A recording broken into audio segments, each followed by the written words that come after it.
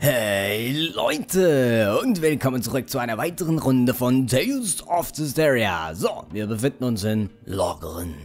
Ja, denn hier gibt es noch was Neues. Ich ähm, habe ein bisschen gelevelt, also ich lasse den Maven mal aus. Ich schätze mal, das könnte sein, dass es dann weitergeht mit der Story, aber wir haben noch nicht alle Steine gefunden. Darum lassen wir das einfach mal.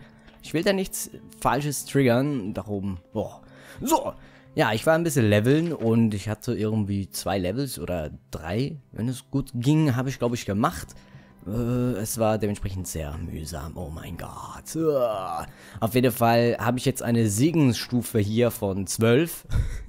ich habe alle meine Sachen hier reingesteckt, um die Gabe ein bisschen zu erhöhen. Ähm, ja, ihr seht da, oh, Heilung. Heilung. Dieses Ritual ist nur sorgsam gepflegte Ausrüstung vorbehalten und versieht das Objekt mit einer Segnung des Herrschers des Landes. Wenn du die Wohltat Heilung erlangt hast, kannst du an, de, an jeder Stätte eines Herrschers des Landes Ausrüstung Heiligen auswählen. Oh, kann ich schon irgendwas? Nein. Ja, die Waffe braucht eine Stufe von 10. Dann kann ich hier heilen und dann kann ich, glaube ich, ich habe mal ein bisschen darüber gelesen im Spiel, da kam so eine Nachricht, dann kann ich, wenn ich die Waffe auf plus 10 habe, kann ich auch mit anderen Waffen schmelzen. Das ist cool. So, äh, ich habe hier Gegenstände jedes Mal ähm, hineingestopft. Und ihr seht, ich habe fast gar nichts mehr, aber dafür habe ich eine Segelsstufe von 12. Und äh, ich kann jetzt zwei Normans einsetzen und die Gegnerlevel sind jetzt 19 mehr. Aber damit ich mir keine Falle einsetze, nehme ich das jetzt lieber mal wieder raus. So, Gabeneinstellungen. Ich habe hier äh, schon sehr viele Gaben freigeschaltet. Hohohoho. Aber ja, seltener Schatz, höhere Objektverluste von den Gegnern, Heiligung, das ist eben das mit der Waffen, heilende Luft, einfach so. Ich habe gedacht, okay, ich nehme das Zeug mal rein. So, gut. Oh, man könnte vielleicht mal reden. Okay, er erzählt immer noch das gleiche. Schade, aber oh, ist halt so. So, was ich noch gemacht habe, ich habe hier noch alle Items gekauft, die er gerade gehabt hat, der kleine Bursche hier. Ich schätze mal, da ist wieder was Neues gekommen. Genau. Oh, oh, äh, äh. Ja, ihr seht, mein Geld geht langsam ins Minus. Oh. Aber ich habe ja mal ein paar Sachen aufgeschrieben, was ich so entdeckt habe. Und das hier ist eins. Ein seltsames Volkskunst. Eine seltsame Volkskunst. Ja, schau mal.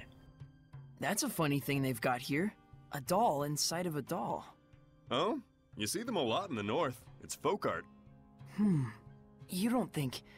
Maybe it's meant to symbolize the relationship between Seraphim and humans? Whoa, uh, I wouldn't go overthinking it. But look, they specifically chose this odd configuration. There has to be some meaning behind it, don't you think? Hmm, undoubtedly. So what would you say it means then, having a human inside of a seraph? Well, maybe... maybe it represents the distinct personality inside each seraph? No, hold on. Perhaps, in depicting a fanciful inverse of the typical seraph and human vessel relationship, it's meant to symbolize coexistence between the two. Zavid, is there anything inside the innermost doll? Huh? Yes. Typically in the very core is... a plum pit. A plum pit? Hmm. Yes, yes, a symbol, of course. But of what? A pit is a seed? A sign of rebirth, perhaps? But then, why a plum? True, some bloom in the spring, but... Hmm... I'm starting to get why you like toying with our boy Mickey here. I know, right? In some ways, he's even more pure than Saray. Such rich philosophy. Very profound. okay, so, was habe ich denn hier noch aufgeschrieben? Äh, in Lastrumbell sollte doch was sein, am Speicherpunkt. Da gibt es auch noch solche Sachen, aber bevor ich mich dort hinbegebe, ich glaube, ich müsste mal was essen. Hm, weil, ja, ich hatte mal eine Nachricht, oh, ich habe Hunger. Erreiche die maximale Trefferzahl, Zähler von 75. Ja, ich hatte, glaube ich, einmal 91, aber mehr nicht. Erreicht den Maximalschaden von 10.000 oder mehr. Er hast einen Geldbonus von 75. Hm, hm, nee, nee, nee, nee. Hypack, oh, okay. Halt Gift, wenn vergiftet, stellt 65% der Kappe wieder her. Ja, das Zeug wäre eine sehr gut gewesen. Weil ich bin sehr she... gewesen. Rose, is the injury you got from him starting to hurt? Oh, no, I'm totally fine. It's just really embarrassing for me to get hurt like that when being kept ransom. No. What's really scary is that he would do such a thing without hesitation. And plus, Simone's reaction. Yes, Her illusions are really something. her skills are quite unusual, but there's something even stranger about her. You mean how she isn't affected by malevolence? Yes, or rather, how deeply she believes in him from the bottom of her heart. But how could she? When she was shot, she was smiling. How could she trust him so? Only she knows the answer. But Simone has remained a seraph while following the will of Heldolf. That much is true. So then what's really dangerous is how pure she actually is. Pretty ironic. Yeah. Hm. Ja, dieses kleine Mädchen ist nicht mehr. Sie ist tot. Oh, Heldalf hat uns den Gefallen getan und hat sie getötet. So, gibt's hier vielleicht noch was? Schätze schon. Äh, Marburg-Currybrötchen. Wie immer. Nom, nom, nom, nom, nom. Think I'm feeling a bit tired today. Yeah, there's no shortage of things we need to do. Now we have the Earth and Historia, and the Storyteller to deal with as well. The world we live in is full of secrets and mystery. I hear you. It's really frustrating being pushed around and intentionally kept in the dark like this. Yeah, but isn't that kinda natural? What do you mean? Ain't nothing but secrets in the world of merchants. The market, guild rules, networks, conveyance routes, all kinds of things you can't say in bid riggings. Every day is a battle against secrecy. I see. Yeah, you're right. In our case, that secrecy is all over Maltellus and his past history. Of course it is. I am a shepherd after all. And you like it, don't you? Of course! He's not kidding. Well, as long as you understand. Okay, let's keep up the never ending battle against secrecy. Oh, so viele Geheimnisse. Gefallen mir. Ja. Denn Geheimnisse sind dazu da, um gelüftet zu werden. Yay! So, gut. Ähm, hm, wir nehmen nochmal das gesunde Hühnchen. Ich schätze mal. Okay, das war's. Äh, Sehr schön. Gut, dann nächster Halt ist dann oh, Lastonbell. Genau, denn da gibt's doch irgendwas Schönes. Hm, wir könnten eigentlich noch... Hm, ja, wie gesagt, Babyn, den lassen wir mal aus. Und ja, wir porten uns mal nach äh, Lastonberg, Kunsthandwerkstatt. Ähm, nicht ins Ga obwohl, ah, gehen wir mal ins Gasthaus. Wir können da noch mal was essen. Vielleicht gibt's da was Neues. Auf jeden Fall, sie hat irgendwas. Hallo, willkommen im Gasthaus Randnetz. Nachdem die Nachdem der Regen endlich aufgehört hat, gehen die Geschäfte wieder etwas besser. Also empfehlen wir, möglichst frühzeitig zu buchen. Haha, niemals. So, hier gibt es noch was anderes zu futtern. Carbo. Marbo Currybrötchen. Nein, nicht schon wieder. So, was haben wir denn hier? Wir nehmen einfach mal dieses gewürfelte Schweinelauch. Okay, hier gibt es auch nichts mehr. Schade, aber boah, man kann nicht alles haben. Gut, hier gibt es aber noch was anderes. Und zwar habe ich jetzt ein Problem, dass hier nichts ist. Und wenn ich jetzt rausgehe und dann Richtung links abbiege, komm schon, geh runter. Danke. Ich liebe dieses Wetter. Ach nö, bei uns schneit's gerade wieder. Der April, der April, der macht, was er will. Und ich bin gerade falsch gelaufen in diesem Spiel. Hm. Ihr seid un... Ja, ihr seid, sie, ihr seid euch ja daran gewöhnt, dass ich mich jedes Mal verlaufe. So, oh, gibt's hier noch was? Hallo. Nein. Also bei dem Knaben habe ich auch noch mal alles gekauft. Und jetzt hat er schon wieder alles. Oh. Ah, ich lasse das. Nein, nein, nein, nein, nein, nein, nein. Ich mache das jetzt nicht. Ja. Okay, so. Da oben bei diesem Speicherpunkt gibt es nämlich noch was. Und zwar... Kaum schon, kaum schon. Immer schön laufen. Genau. Maltran. Die Valkyrie. Das ist ja Alishas ähm, Kollegin da und sie glaubt sehr an sie. I didn't know Maltran's fame even extended into Roland's. That's how grand her achievements are. Well, that and she kinda sticks out, don't you think? Agreed. Her and her pupil alike. They're totally cut from the same cloth. Huh? You mean Alicia and Maltran? We were thinking they were polar opposites. Seriously? I've seen them both every now and then when I've been at the palace, but they're both so like. Crap, how can I put it? Uptight, fervent, committed? I can kinda get that. Right? That's why it all clicked when I found out they were teacher and student. We always hurt the ones we love the most. Huh? We do? Why? No reason. It just popped into my head. Oh, da geht's noch weiter. Mel Trans Vergangenheit nach der Enthüllung. Nach der Enthüllung, okay. So Maltran's fellow knights turned into Hellions and attacked her. Were they jealous of her fame and exploits? People tend to resent those who excel, even if they may be allies. That's even how military officers lose their lives on the battlefield sometimes. That's just brutal. But Maltran is alive, right? I wonder what did happen. That might have been the moment she herself turned Hellion. Or she could have been one from the start. We don't know the exact source of her malevolence, but we do know she has extraordinary combat skills. Indeed. It could be that the malevolence she emitted intensified that of the surrounding area, causing her fellow soldiers to become Hellions. It's a chicken and egg scenario. Won't do any good to ponder it. Either way, Maltran was already a Hellion when she first met Alicia. I imagine it will be hard on Alicia when she finds out. Sheesh, letter from Debbie. She wants her downers back. Come on! That means Alicia spent all those months next to a super grody Hellion, and yet she didn't absorb a lick of malevolence. How awesome is she? That's right. We gotta think positively. Damn straight.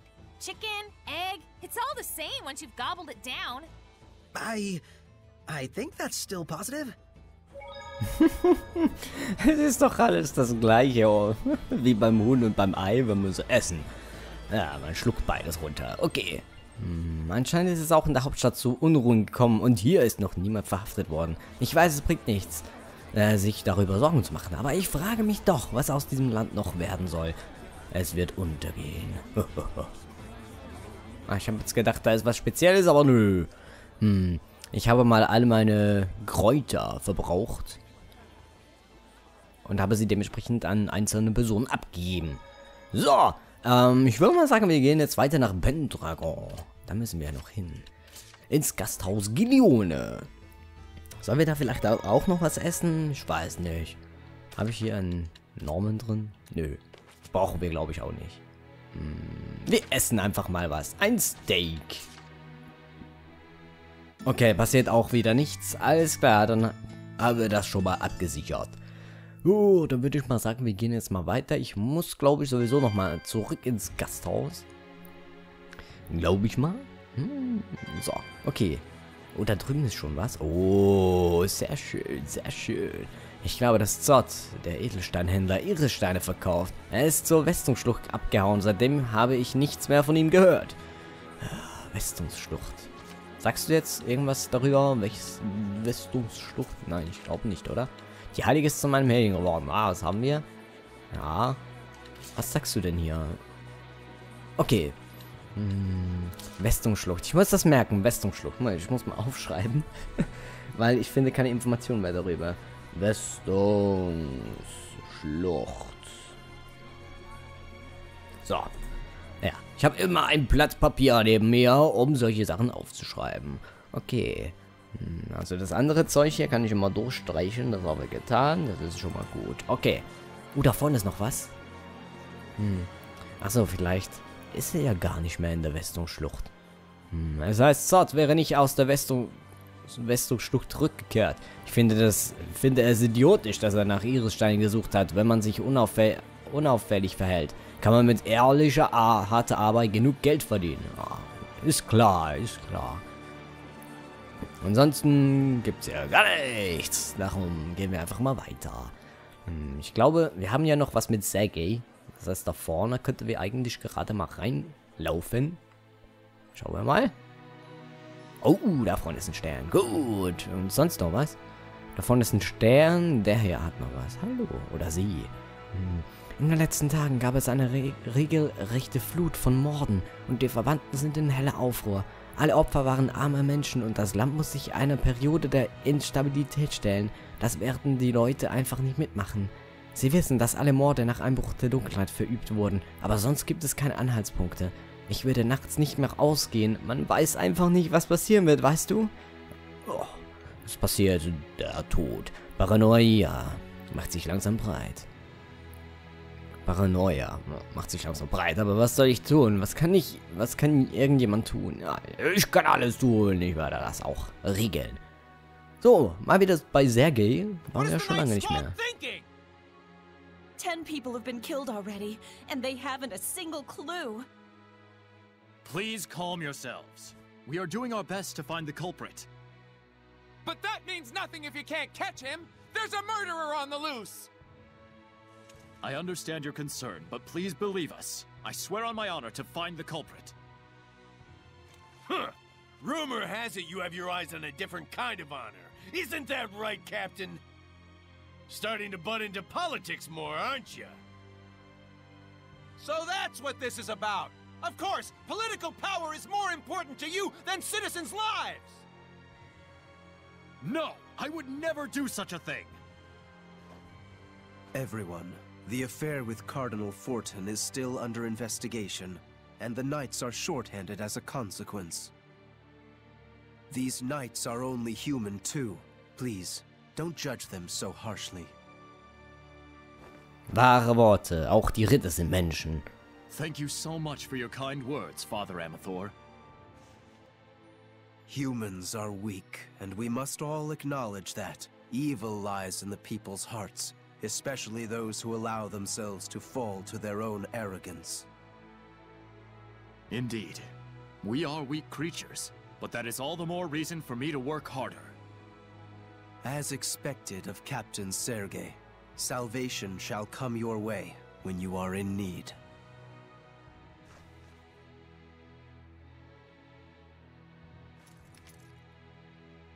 I do apologize, but such is the situation. I must go join the search squad. I wonder, could Hellions be behind all these murders? Let's check it out. Ja, ich habe mal das Outfit von Mikleon mal geändert und ähm, glaube sonst noch was. Bei Edna habe ich es glaube ich auch geändert und Rose sollte eigentlich immer noch gleich sein. Leider auch. Safid auch und Saray auch. Ja, also hier gibt es noch mehr. Äh, oder? Was hat sie eigentlich gesagt? Hm, wir sollten uns um die Morde im Pentagon kümmern. Ja, das sollten wir. Mörder jagen den Leuten eine Heiden Angst ein und ich spreche aus Erfahrung. Ich bin sicher, dass es unzählige wirre Gerüchte gibt, aber wir könnten trotzdem ein paar nützliche Hinweise bekommen, wenn wir uns ein wenig in der Stadt umhören. Haben wir schon getan. Wir wissen, dass es in der Nacht passiert und ja, bevor wir jetzt noch weitergehen, wenn wir schon hier sind, gehen wir mal hier rein und vielleicht gibt es noch was. Nö, äh, gibt's nichts. Hm.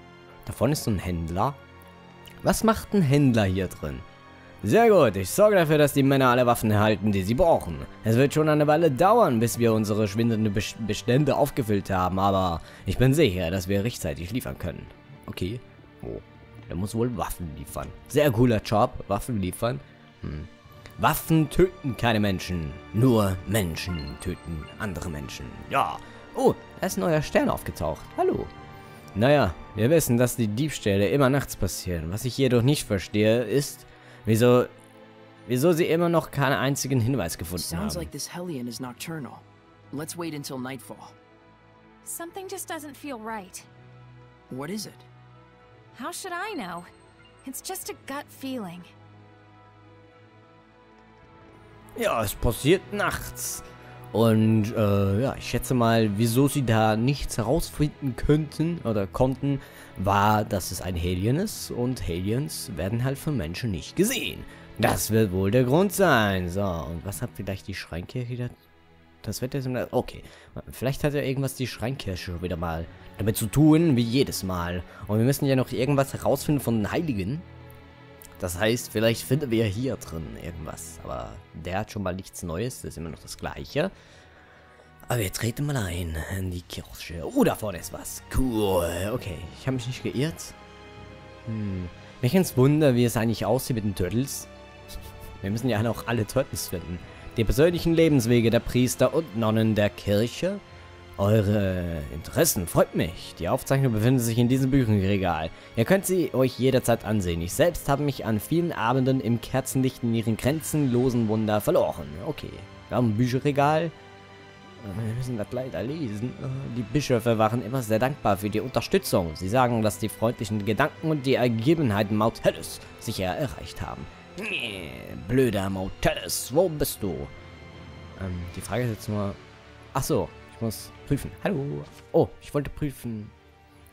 Enid Forton, die älteste der Forton-Schwestern. Eine freundliche und fröhliche Nonne. Sie hatte sich auf eine Beziehung mit Pater Eric eingelassen und brachte ein unehrliches Kind von ihm zur Welt. Beide wurden aus der Kirche exkommuniziert und in das Dorf Horse am Rande des Safcott-Moors verbannt. Hm. Roden Forton, die mittlere der Forton-Schwestern. Eine Nonne, die ihrem Dienst an Gott stets mit Leidenschaft und Hingaben nachging. Einige Mitglieder der Gemeinde bezeichnen sie auch als Heiliger. Sie unterstützte das Lande, Landgewinnungsprojekt oh Gott, im Häftl Häftlingstauschsumpf und siedelte mit einigen Gläubigen dorthin um. Für weitere Informationen zum Landgewinnungsprojekt Landgewinnungsprojekt bitte eine andere Quelle konsultieren. Runete Forton, jüngste der Forton-Schwestern. Also gibt es drei. Eine redegewandte Nonne mit reichem Wissensschatz, Wissensschatz machte sich einen Namen als Reformiererin der Kirchenpolitik und Finanzen an, äh, Finanzangelegenheiten. Nach dem Verschwinden vom Papst Masedra vollbrachte sie ein paar Wunder, die dazu führten, dass sie zur Kardinalin gewählt wurde. Hinweis. Die Heimatstadt der Forton-Schwestern ist das Dorf Fortran, jenseits des, der Glyphetsenke. Oh, Glyphetsenke. Da muss ich mal aufschreiben. Hm. Senke. Sehr schön. Okay. Das Dorf ist extrem arm und es Wind vermutet äh, und es wird vermutet, dass die Schwestern praktisch dazu gezwungen waren, in den Orten einzutreten, damit weniger Münder gestopft werden müssten. I can't believe it. Both of the Medusa-type Hellions are... They're probably Cardinal Fortin's sisters. Are you sure? It seems like too much of a coincidence. Well, the only way to learn the truth is to ask the Hellions themselves. But how? If we're right, then I'm guessing they've gone back to their hometown. A gut feeling? Sort of, yeah. Just a hunch based on how humans think. Well, it's not impossible, psychologically speaking. Halfway logic is better than no logic at all. And Rose's gut hasn't led us astray yet. But we can't go there right now. Glaven Basin is currently closed off. So, we'll have to sit tight and wait for an opportunity, huh? Ach nö. Moment mal. Sagt er jetzt nochmal das gleiche dann, wenn ich da nochmal hingehe? Und haben wir was bekommen? Annie, die Vater der ältesten Fortnite, eine freundliche, fröhliche Nonne. Sie hatte sich mit Pater Eric... Äh, okay. Wird immer das gleiche erzählt, alles klar. Ich will hier weg. Danke, ich hab's schon gelesen. Oh, okay. Ähm, das bleibt wohl so lange da, bis wir das Zeug auch beendet haben. So, gehen wir mal weiter hinein. So, wir müssen anscheinend zur Clifford-Senke. Wir kommen aber leider noch nicht hin, weil es, ja, ist geschlossen. Ja, kommst du nicht durch. Jetzt ist noch die Frage, ob hier noch etwas Spezielles noch ist. Nein, ich muss nicht mit dem Herrscher des Landes äh, unterhalten. Ja. So, ich würde mal sagen, das war schon mal wieder für diesen Part. Es war leider kein richtiges Erfolgserlebnis dabei. Außer, dass wir halt ein bisschen mehr gelesen haben, ein bisschen mehr von der Geschichte oder erfahren haben, was wir machen müssen. Hoho. Zum Beispiel müssen wir in die Glyphet-Senke und in der Westungsschlucht muss auch noch ein Edelstein sein. Yeah! So, aber zuerst würde ich mal sagen... Also, ja, stimmt. Schon gedacht, hier passiert was. Aber nein. Ja, ich würde mal sagen, wir gehen jetzt mal zum Gasthaus und... Äh... Schlafen da mal eine Runde, weil in der Nacht passiert halt einige Dinge, die sehr komisch sind. Und ich schätze jetzt mal, hier gibt es nichts weiteres, was wir in der Stadt noch triggern könnten. Da auf jeden Fall nicht. Okay. Dann können wir das eigentlich so belassen, wie, wie wir gerade stehen und gehen ins Gasthaus. Und dann machen wir beim nächsten Mal weiter. Zuerst gehen wir mal ein bisschen schlafen hier. So Leute, ich danke mal fürs Zuschauen und fürs Kommentieren. Wir sehen uns beim nächsten Mal wieder bei Tales of the Stereo. Noch einen schönen Tag wünscht euch der Tert.